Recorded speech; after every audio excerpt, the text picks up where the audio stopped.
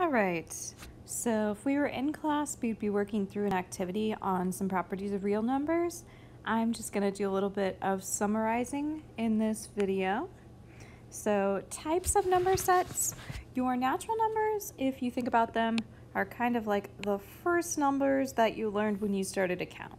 Like you've got one toy, two toys, three toys, four toys. Whole numbers are a slightly larger number set. They add zero to your natural numbers. And then integers was when you got to like middle school and you learned that not only are there whole numbers, there are also negative numbers as well. So integers add the negative numbers to your whole numbers.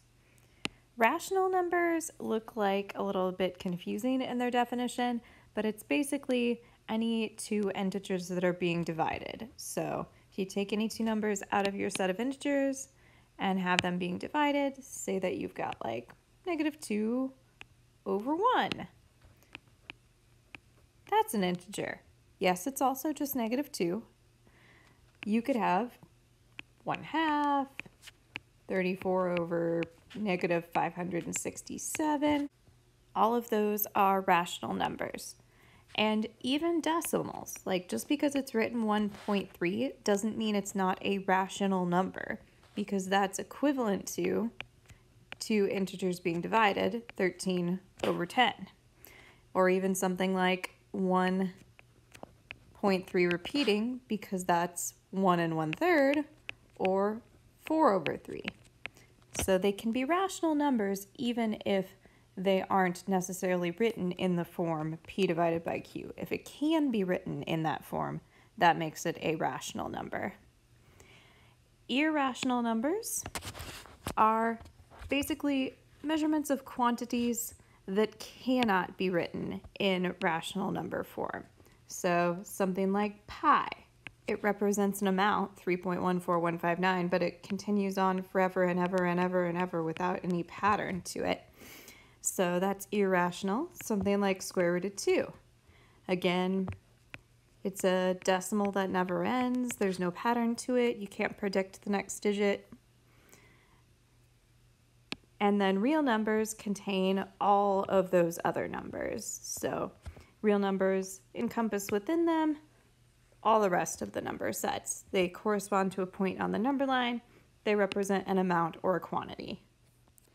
This is a nice little illustration, kind of shows you your smallest number set is your natural numbers with some examples, and then the whole numbers contain those natural numbers plus zero.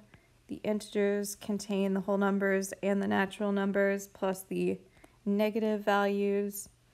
Rational gets a little bit bigger, contains all of those other ones. And then rational and irrational don't overlap because my rational numbers can be written in the form p divided by q, where p and q are integers, and irrational numbers cannot. Pi over 4 isn't rational even though it's a fraction because pi is not an integer. And then all of these are real numbers. Everything. Except non-real complex numbers, which would be like imaginary unit i, 2 plus i, which may or may have not talked about in the past. Order of operations is the agreed upon order in which to perform mathematical operations so that everybody gets an agreed upon result. So you may have heard the abbreviation PEMDAS before, where please excuse my dear Aunt Sally not my favorite abbreviation, but if you've heard it before, that relates to order of operations. And the first thing you do in order of operations is work inside your grouping symbols or your parentheses. They're not always parentheses. It could be brackets, could be top of a fraction, bottom of a fraction. Those are groups as well. So start there. For example, if I was looking at this expression down here, I would start by working on my expression that's grouped together inside there, 4 minus 2, and I would perform that operation first, make it into 2.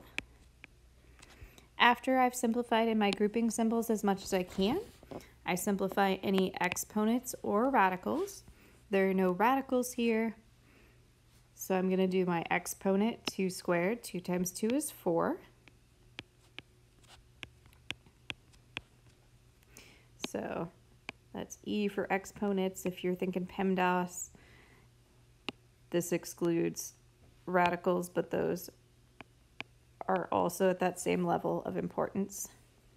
Then you perform your multiplication and division. And the key here is you have to work from left to right. This is why I really don't like the PEMDAS abbreviation because people think that because M comes first, you multiply everything in your expression before you divide. That is not true. Multiplication and division occur from left to right.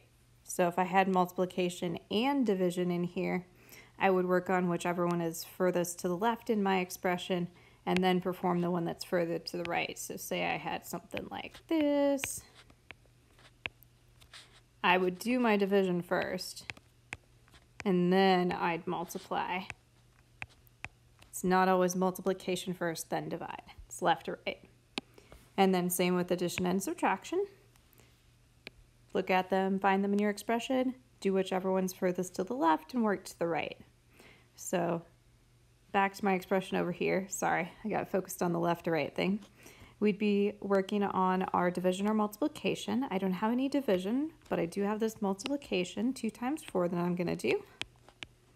And then finally, I would perform my last operation, addition, and get 17. And here are a few additional properties that we have that are true when adding or multiplying numbers. Commutative property says that we can add values in any order and it's not going to change the result or multiply them in any order and it's not going to change the result. Associative says that regrouping in addition or multiplication doesn't change my value. Identity says I can, if I'm talking about identity of addition, I can add my identity element 0 and not change the value of my expression. Or if I'm talking multiplication, I can multiply by 1 and not change the value. In terms of inverse of addition, I can add the opposite sign of my number and it gets me back to 0, my identity element. In multiplication, I can multiply by my reciprocal and get back to 1. And then closure is one that we don't talk about a ton. This is probably the first time you've heard about it. But basically it says the real numbers are closed under addition or multiplication. If I add two real numbers together, my result's still gonna be a real number. Or if I multiply two real numbers together, my result's still gonna be real number. They don't magically turn into imaginary or non-real numbers. And then the distributive property involves both addition and multiplication. Essentially says if I have a value times a quantity that involves addition, I can multiply as long as this is still following order of operations. So this has to be the first power. I can multiply my value times each of those inside and get the same result.